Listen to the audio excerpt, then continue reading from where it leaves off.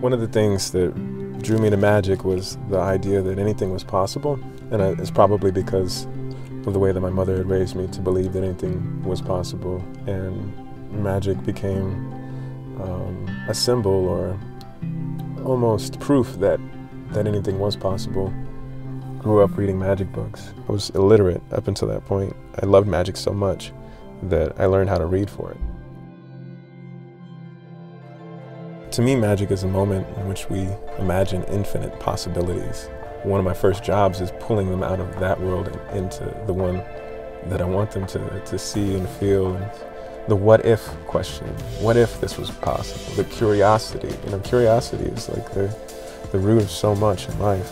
And then it follows up the question with this, with the, it, you know, wraps it up with this message of hope, which is another really powerful thing. You know, not only is, it, is there the question of what if is possible, but then there's the hope of it being possible. For any artist, I think, is to evoke an emotion that's so, so intense and extreme that it changes the way that they look at things, the way they look at life afterwards.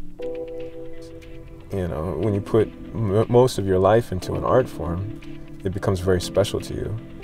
And you want to communicate how special it is.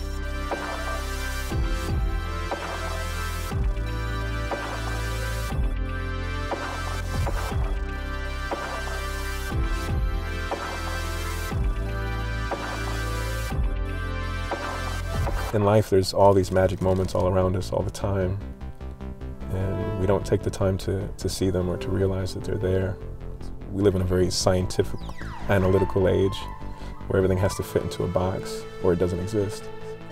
The most amazing things in life cannot fit into a box.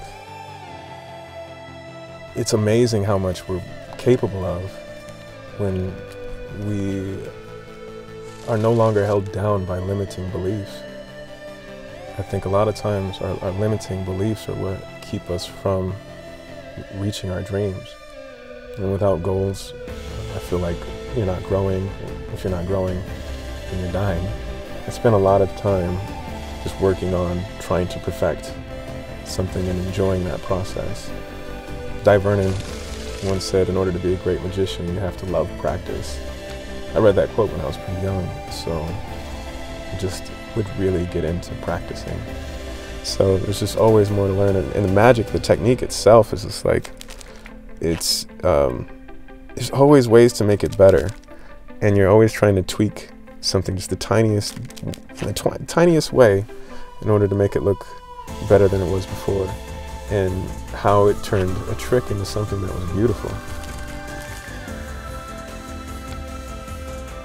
Now it's putting it out into the world, whether it's via digital platform or um, you know huge stages.